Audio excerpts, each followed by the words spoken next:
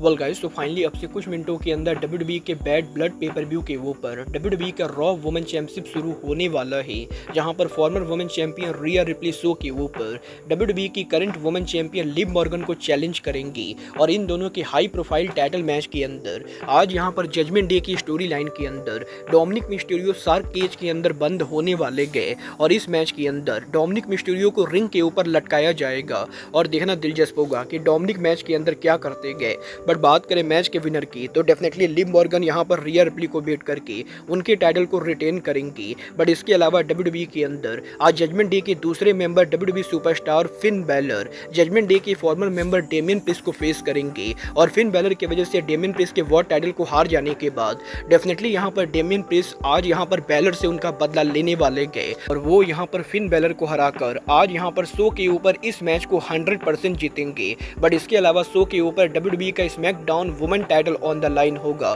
जहाँ पर डब्ल्यू की SmackDown women champion Nia Jax आज उनका टाइटल, फॉर्मर चैंपियन बेली के खिलाफ डिफेंड करेंगी, और इस चीज़ के 100 परसेंट चांसेस है कि इस मैच के अंदर money in the bank holder Tiffany की इंटरफेरेंस होगी, और टिफनी की वजह से नाया जैक्स आज यहाँ पर बेली को हराकर डब्ल्यू का वुमेन चैंपियनशिप रिटेन करने वाले हैं। वेल देखना दिलचस्प होगा कि आज यहाँ पर बैड ब्लड के ऊपर इन तीनों मैचेस के अंदर मैचेस कैसे होते गए, और इन मैचेस के अंदर एग्जैक्टली यहाँ पर कौन जीतता है